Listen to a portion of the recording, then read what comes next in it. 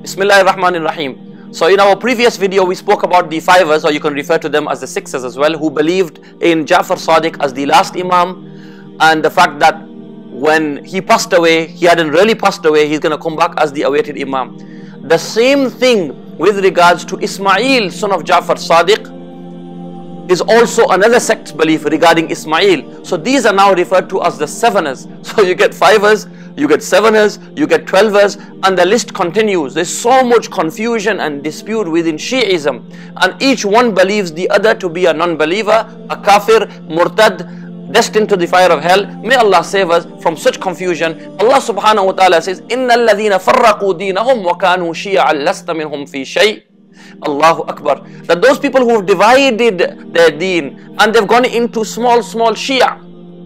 Allah used the word Shia. O Muhammad sallallahu alaihi wasallam, you are not from amongst them. I'm not saying this verse is only for Shia, but the Shia, uh, this verse is applicable to them. So now you get Ja'far, uh, uh, um, his son who died in his lifetime, eldest son, Ismail bin Ja'far.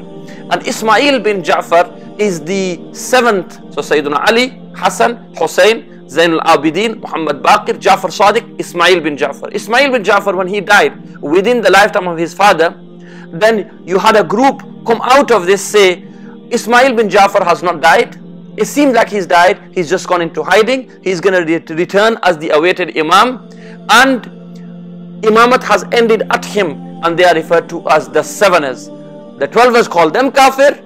And disbelievers, they call the twelvers disbelievers. May Allah subhanahu wa ta'ala save us and give the tawfiq, give tawfiq to the Shia public to open the eyes. Wa akhir da'wana and alhamdulillahi rabbil alameen.